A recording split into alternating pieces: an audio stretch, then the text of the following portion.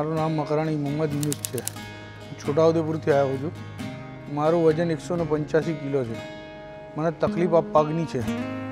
પગથી મારથી ચલાતું નથી વધારે. ને પેટ, બોડી વધી ગઈ છે. એનાથી વધારે કામ નહીં થતું એમ. આ પેશન્ટ મારા પાસે ઘણા દિવસથી ટચમાં હતો. હાલી નહોતો શકતો કોન્ફિડન્સ નહોતો કે સર્જરી કરાયા પછી ખરેખર એને રિઝલ્ટ મળશે. એના પગ બહુ બધા ડીશેપ થઈ ગયા હતા. છૂટક મજૂરી કરે.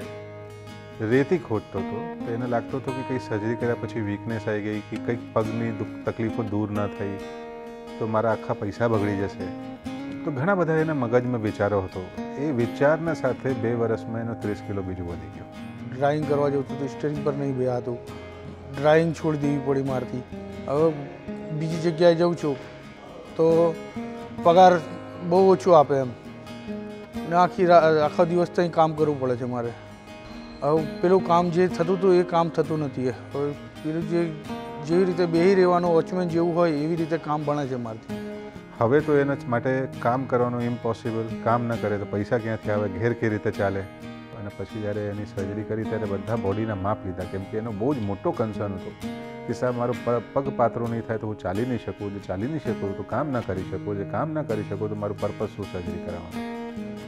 હું પહેલાં મારી ટ્રીટમેન્ટ કરાવવા માટે ગયો હતો. ત્યાં સિત્તેર હજાર રૂપિયા જેવો મારો ખર્ચો થયો.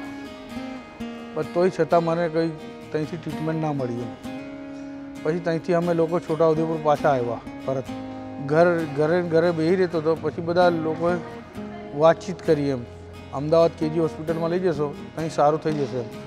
તો ફરીથી ટચમાં આવ્યો, ફરીથી એને કોન્ફિડન્સ અપાયો, બે ચાર લોકોને મળ્યો અને પછી એ કોન્ફિડન્સ આવીને એ સર્જરીમાં આવ્યો. ત્યારે અમે ઘણી બધી એ સર્જરી તાત્કાલિક કરી શકીએ એવી સ્થિતિ જ નથી એની. એના બ્લડમાં ઓક્સિજનનું પ્રમાણ ઓછું હતું. ચાલી નહોતો શકતો. ચાર ડગલા ચાલવાથી એના શ્વાસ ચડી જતો હતો.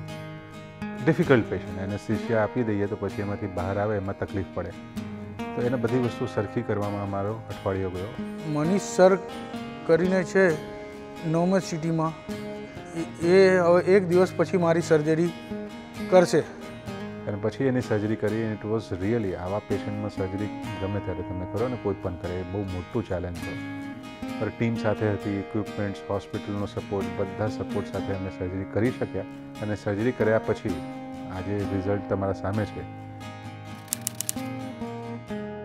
એકસો ને નેવું કિલો વજન હતું. હમણાં એકસો ને સાડત્રીસ કિલો વજન છે.